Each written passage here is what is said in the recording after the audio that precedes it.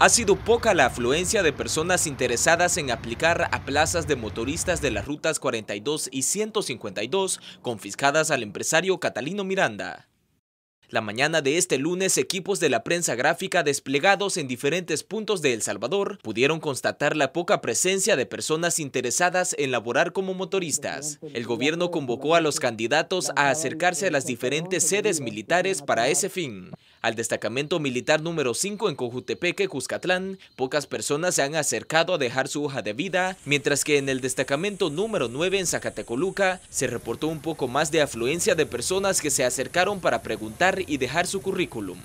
Situación totalmente diferente se percibía en la tercera brigada de infantería en San Miguel, en donde no se observó movimiento de personas, al igual que en la segunda brigada de infantería en Santa Ana, en donde era nula la presencia de personas en busca de la oportunidad laboral.